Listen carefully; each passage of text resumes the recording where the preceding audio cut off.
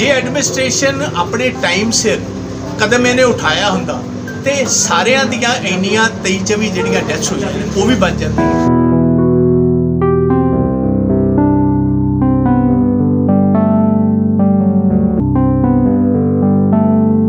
ਇਹ ਸਾਰੀਆਂ ਸ਼ਹਿਰ, ਸ਼ਹਿਰਾਂ ਚੋਂ ਬਾਹਰ ਕੱਢੀਆਂ ਨੇ। ਇਹ ਸਾਰੇ ਸ਼ਹਿਰਾਂ ਦੇ ਵਿੱਚ ਬੜੀ ਡੈਂਸ ਪੋਪੂਲੇਸ਼ਨ ਜਿੱਥੇ ਬਹੁਤ ਵੱਡੀ ਤਾਦਾਦ 'ਚ ਲੋਕ ਰਹਿੰਦੇ ਨੇ ਉੱਥੇ।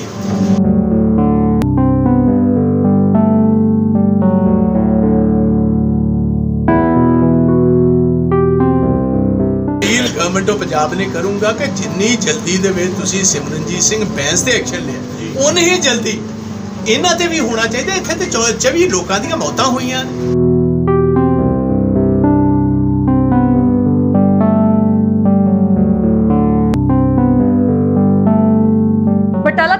ਮਾਮਲੇ ਨੂੰ ਰਹਿ ਕੇ ਰਾਜ ਸਭਾ ਮੈਂਬਰ ਪ੍ਰਤਾਪ ਸਿੰਘ ਬਾਜਵਾ ਨੇ ਆਪਣੀ ਸਰਕਾਰ ਤੇ ਸਵਾਲ ਖੜੇ ਕੀਤੇ ਨੇ। ਬਾਜਵਾ ਨੇ ਕਿਹਾ ਹੈ ਕਿ ਉਹ ਖੁਦ ਮੰਨਦੇ ਨੇ ਕਿ ਇਹ ਘਟਨਾ ਉਹਨਾਂ ਦੀ ਸਰਕਾਰ ਤੇ ਪ੍ਰਸ਼ਾਸਨ ਦੀ ਅਣਗਹਿਲੀ ਦਾ ਹੀ ਇਹ ਨਤੀਜਾ ਹੈ।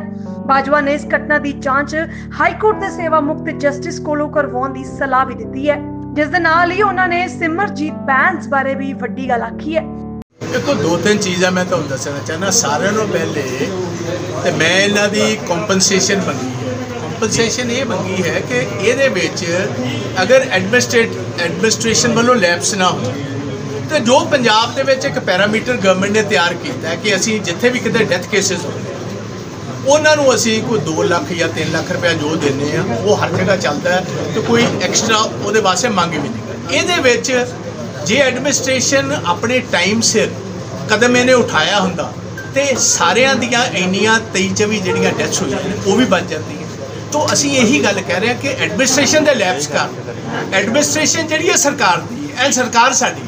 ਤੋਂ ਇਸ ਲੈਪਸ ਕਾਰਨ ਹੀ ਮੈਂ ਗਵਰਨਮੈਂਟ ਆਫ ਪੰਜਾਬ ਨੂੰ ਇਹ ਗੱਲ ਕਹੀ ਹੈ ਕਿ 25 25 ਲੱਖ ਰੁਪਇਆ ਤੁਹਾਨੂੰ ਦੇਣਾ ਚਾਹੀਦਾ ਕਿਉਂਕਿ ਲੈਬ ਸਾਡੀ ਆਪਣੀ ਐਡਮਿਨਿਸਟ੍ਰੇਸ਼ਨ ਵੱਲੋਂ। ਨੰਬਰ 2 ਇੰਜਰਡ ਨੂੰ ਉਹਨਾਂ ਦੀ ਕਿੰਨੀ ਕੁ ਉਹਨਾਂ ਦੀ ਸਮਝੋ 60 ਵੱਜੀ ਉਸ ਮੁਤਾਬਕ। ਤੇ ਕੰਪਨਸੇਸ਼ਨ ਵੀ ਜਿੰਨੀ ਕੁ ਮਕਾਨਾਂ ਦੀ ਜਾਂ ਦੁਕਾਨਾਂ ਦਾ ਜਿੰਨਾ ਨੁਕਸਾਨ ਉਹਦੇ ਮੁਤਾਬਕ ਨੰਬਰ 2 ਇਹ ਮੈਂ ਗੱਲ ਕਹੀ ਹੈ ਕਿ ਇਮੀਡੀਏਟਲੀ ਦੀਵਾਲੀ ਤੋਂ ਪਹਿਲੇ ਜਿੰਨੀਆਂ ਵੀ ਐਕਸਪਲੋਜ਼ਿਵਸ ਦੀਆਂ ਦੁਕਾਨਾਂ ਨੇ ਪਟਾਕਿਆਂ ਦੀਆਂ ਦੁਕਾਨਾਂ ਨੇ ਇਹ ਸਾਰੀਆਂ ਸ਼ਹਿਰ ਸ਼ਹਿਰਾਂ ਚੋਂ ਬਾਹਰ ਕੱਢੀਆਂ ਨੇ। ਇਹ ਸਾਰੇ ਸ਼ਹਿਰਾਂ ਦੇ ਵਿੱਚ ਬੜੀ ਡੈਂਸ ਪੋਪੂਲੇਸ਼ਨ ਜਿੱਥੇ ਬਹੁਤ ਵੱਡੀ ਤਾਦਾਦ 'ਚ ਲੋਕ ਰਹਿੰਦੇ ਨੇ ਉੱਥੇ।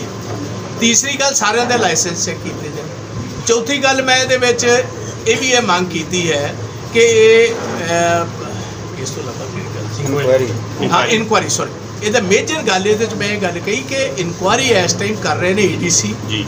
ਜਨਰਲ ਤੇ ਨਾਲ ਕਰ ਰਹੇ ਨੇ ਐਸਪੀ ਲੈਵਲ ਦੇ ਅਫਸਰ ਤਾਂ ਮੈਂ ਸਮਝਣਾ ਕਿ ਜਿਹੜੇ ਉਸੇ ਜ਼ਿਲ੍ਹੇ ਨਾਲ ਤਾਲੁਕ ਰੱਖਦੇ ਅਫਸਰ ਨੇ ਨਾਲੇ ਜੂਨੀਅਰ ਅਫਸਰ ਨੇ ਇਹ ਸਹੀ ਬੈਠੇ ਜਸਟਿਸ ਨਹੀਂ ਦੇ ਪਾਣ ਇਹਨਾਂ ਤੇ ਕਈ ਕਿਸਮ ਦਾ ਪ੍ਰੈਸ਼ਰ ਹੋਏਗਾ ਜੇ ਗਵਰਨਮੈਂਟ ਆਫ ਪੰਜਾਬ ਬਟਾਲੇ ਦੇ ਲੋਕਾਂ ਨੂੰ ਜਸਟਿਸ ਦੇਣਾ ਚਾਹੁੰਦੀ ਇਮਾਨਦਾਰੀ ਨਾਲ ਫਿਰ ਮੇਰੀ رائے ਹੈ ਕਿ ਕਿਸੇ ਵੀ ਸਿਟਿੰਗ ਹਾਈ ਕੋਰਟ ਦੇ ਰਿਟਾਇਰਡ ਜੱਜ ਸੌਰੀ ਸਿਟਿੰਗ ਨਹੀਂ ਰਿਟਾਇਰਡ ਹਾਈ ਕੋਰਟ ਦੇ ਕਿਸੇ ਜਸਟਿਸ ਨੂੰ ਇਨਕੁਆਰੀ ਦਿੱਤੀ ਜਾਏ ਜਿਹਦੇ ਵਿੱਚ ਜਿਹੜੇ ਲੋਕ ਜ਼ਿੰਮੇਵਾਰ ਨੇ ਉਹਨਾਂ ਤੇ ਬਕਾਇਦਾ ਤੌਰ 24 ਬੰਦਿਆਂ ਦੀ ਡੈਥ ਹੋ ਗਈ ਹੈ ਤਾਂ ਮੈਂ ਸਮਝਣਾ ਕਿ ਇਹ ਕਿਸੇ ਦੀ ਸਸਪੈਂਸ਼ਨ ਨਾਲ ਕੰਮ ਨਹੀਂ ਚੱਲਣਾ।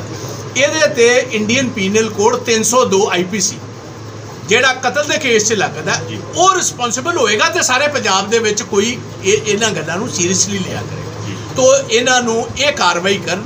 ਤੋ ਮੈਂ ਇਹ ਮੰਗ ਕਰਾਂਗਾ ਇਹਦੀ ਚਿੱਠੀ ਵੀ ਮੈਂ ਮੋਸਟ ਪ੍ਰੋਬਬਲੀ ਕੱਲ ਨਹੀਂ ਤੇ ਪਰਸੋਂ ਤੱਕ ਕੈਪਟਨ ਅਮਰਿੰਦਰ ਸਿੰਘ ਜੀ ਨੂੰ ਵੀ ਲਿਖ ਰਿਹਾ ਫਿਰ ਚੀਫ ਸੈਕਟਰੀ ਸਾਹਿਬ ਨੂੰ ਵੀ ਲਿਖਾਂਗਾ ਫਿਰ ਜਿੱਥੇ ਹੋਰ ਵੀ ਜਾਣ ਦੀ ਲੋੜ ਪੈਗੀ ਮੈਂ ਜਾਵਾਂਗਾ just appeal government of Punjab ਨੇ ਕਰੂੰਗਾ ਕਿ ਜਿੰਨੀ ਜਲਦੀ ਦੇ ਵਿੱਚ ਤੁਸੀਂ ਸਿਮਰਨਜੀਤ ਸਿੰਘ ਬੈਂਸ ਤੇ ਐਕਸ਼ਨ ਲਿਆ ਉਨੀ ਹੀ ਜਲਦੀ। ਇਹਨਾਂ ਤੇ ਵੀ ਹੋਣਾ ਚਾਹੀਦਾ ਇੱਥੇ ਤੇ 24 ਲੋਕਾਂ ਦੀਆਂ ਮੌਤਾਂ ਹੋਈਆਂ ਨੇ। ਇਹਨੂੰ ਉਹਨਾਂ ਸੀਰੀਅਸਲੀ ਆਪਾਂ ਲਈਏ ਇਮੀਡੀਏਟਲੀ ਲੋਕਾਂ ਨੂੰ ਜਸਟਿਸ ਦਵਾਈਏ ਲੋਕਾਂ ਨੂੰ ਫੇਥ ਆਪਣੀ ਗਵਰਨਮੈਂਟ ਤੇ ਹੋਏ।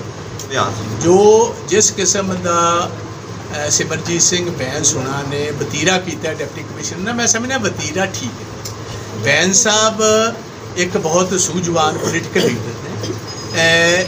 ਅਸੀਂ ਐਡਮਿਨਿਸਟ੍ਰੇਸ਼ਨ ਦੇ ਨਾਲ ਤੂ ਤੂ, ਮੈਂ ਮੈਂ ਮਾਮਾ ਭੈਣਾਂ ਤੱਕ ਨਹੀਂ ਸਾਨੂੰ ਪਹੁੰਚਣਾ ਚਾਹੀਦਾ ਕਿਉਂਕਿ ਨੌਜਵਾਨ ਬੱਚੇ ਜਾਂ ਸੁਸਾਇਟੀ ਜਿਹੜੀ ਉਹ ਸਾਨੂੰ ਸਮਝਦੀ ਹੈ ਕਿ ਅਸੀਂ ਕਿਸ ਕਿਸਮ ਦੀ ਆਪਣੀ ਜ਼ੁਬਾਨ ਤੇ ਅੰਕੁਸ਼ ਰੱਖਦੇ ਹਾਂ, ਕਿਸ ਕਿਸਮ ਦੀ ਸਾਡਾ ਬਿਹੇਵੀਅਰ ਹੈ। ਇਹ ਵੀ ਗੱਲ ਚੰਗੇ ਸ਼ਬਦਾਂ 'ਚ ਵੀ ਕਹੀ ਜਾ ਸਕਦੀ ਪਰ ਸੀ ਬਾਜਵਾ ਤੇ ਸਾਹਿਬ ਜਦ ਸਰਕਾਰ ਦੇ ਮੰਤਰੀ ਕਰਦੇ ਨੇ ਉਹਨਾਂ ਦੇ ਪਰਚਾ ਦਰਜ ਨਹੀਂ ਹੁੰਦਾ। ਆਸ਼ੂਤੋਸ਼ ਜੀ ਨੇ ਵੀ ਕੀਤਾ ਸੀ। ਆਪਾਂ ਹੁਣ ਤੁਸੀਂ ਮੈਨੂੰ ਡਿਪਟੀ ਕਮਿਸ਼ਨਰ ਸਿੱਖਿਆ ਸਿੱਖਿਆ ਵਿਭਾਗ ਦੇ ਅਧਿਕਾਰੀ ਨਾਲ ਕੀਤਾ ਸੀ ਭਰੇ ਸਮਾਗਮ ਦੇ ਵਿੱਚ ਕੀਤਾ ਸੀ। ਉਹਨਾਂ ਦੇ ਕਿਉਂ ਨਹੀਂ ਪਰਚਾ ਦਰਜ ਕੀਤਾ ਗਿਆ ਜੀ ਉਦੋਂ? ਵੀ ਮੈਂ ਚੀਫ ਮਿਨਿਸਟਰ ਹੈ ਨਹੀਂ ਨਾ ਤੁਹਾਨੂੰ ਹਰ ਗੱਲ ਸਰ ਸਰਕਾਰ ਸਰਕਾਰ ਦਾ ਮੰਤਰੀ ਸਰਕਾਰ ਦਾ ਮੰਤਰੀ ਨੂੰ ਤੁਸੀਂ ਜਿਹੜੇ ਸ਼ਹਿਰ ਦੇ ਵਿੱਚ- ਉਹਨਾਂ ਦੇ ਜਿਹੜੇ ਗਿਲਟੀ ਤੁਸੀਂ ਆਉਂਦੇ ਆ ਸਾਹਮਣੇ। ਉਹਨਾਂ ਤੇ ਕੀ ਕਾਰਵਾਈ ਹੋਣੀ ਚਾਹੀਦੀ? ਹਾਂਜੀ। ਉਹਦੇ ਬਾਰੇ ਗਿਲਟੀ ਜਿਹੜੇ ਹੁੰਦੇ ਜਿਹੜੇ ਮੈਂ ਦੱਸਿਆ ਚੁੱਕੇ ਵੀ ਜਿਹੜੇ ਆਦਮੀ ਤੇ ਜ਼ਿੰਮੇਵਾਰੀ ਬਣਦੀ ਕਿ ਜਿਨ੍ਹਾਂ ਨੇ 3 ਸਾਲ ਬਿਨਾਂ ਲਾਇਸੈਂਸ ਤੋਂ ਇੱਥੇ ਕੰਮ ਚੱਲਣ ਦਿੱਤਾ।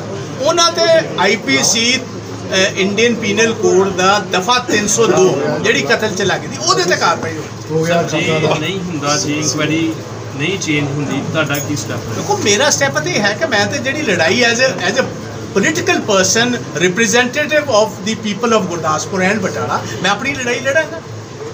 ਆਪਣੀ ਪੂਰੀ ਲੜਾਈ ਜਿਹੜੀ ਹੈ, ਲੜਾਈ ਤੁਹਾਨੂੰ ਪਤਾ ਡੈਮੋਕ੍ਰੇਸੀ ਦੇ ਵਿੱਚ ਜਿਸ ਕਿਸਮ ਦੀ ਤੁਸੀਂ ਲੜਾਈ ਲੜਦੇ ਹੋ ਕਿ ਕੁਸਮੁਖੀ ਦੀ ਤੇ ਹੋ ਨਹੀਂ ਸਕਦੀ। ਉਹ ਤਾਂ ਲੜਾਈ ਸ਼ਬਦਾਵਲੀ, ਚਿੱਠੀਆਂ ਲਿਖਣੀਆਂ ਪ੍ਰੈਸ਼ਰ ਬਿਲਡ ਕਰਨਾ, ਜਿੱਥੋਂ ਤੱਕ ਵੀ ਜਾਣਾ ਪਏਗਾ, ਮੈਂ ਅੱਜ ਇਹ ਕਹਿਣਾ ਨਹੀਂ ਚਾਹੁੰਦਾ। ਲੈਟ ਅਸ ਵੇਟ ਮੈਨੂੰ ਪੂਰਾ ਮਾਣ ਹੈ ਕਿ ਸਾਡੀ ਸਰਕਾਰ ਜਿਹੜੀ ਹੈ, ਮੇਰੀ ਗੱਲ ਨੂੰ ਨਹੀਂ ਟਾਲੇਗੀ। ਚੀਫ ਮਿਨਿਸਟਰ ਸਾਹਿਬ ਨਹੀਂ ਟਾਲਣਗੇ, ਕਿਉਂਕਿ ਇਹ ਲੋਕਾਂ ਦਾ ਕੰਮ ਹੈ। ਮੈਂ ਅੱਜ ਆਪਣੇ ਵਾਸਤੇ ਡਿਮਾਂਡ ਨਹੀਂ ਕਰਦਾ, ਮੈਂ ਆਪਣੇ ਲੋਕਾਂ ਵਾਸਤੇ ਕਰ ਰਿਹਾ। ਤੇ ਉਹਨਾਂ ਲੋਕਾਂ ਵਾਸਤੇ ਕਰ ਰਿਹਾ ਜਿਨ੍ਹਾਂ ਨੇ ਅੱਜ ਸਾਡੀ ਇਹ ਸਰਕਾਰ ਬਣਾਈ।